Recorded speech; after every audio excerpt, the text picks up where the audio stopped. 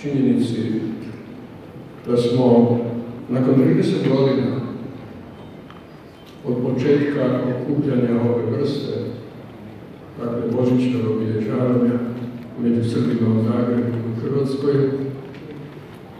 u posebnoj prilici, zahvaljujući činjenici da predstavnici vlade Republike Hrvatske i vlade Republike Srbije u ovakvom značajnom i važnom sastavu prisustvuju našem božićnom prijevu.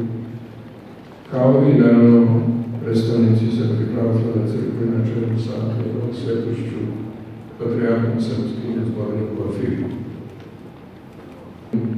Kada se nađu u ratnim okolnostima i kada svoje živote izlažu za ideju slobode i za ideju ravnopravnosti.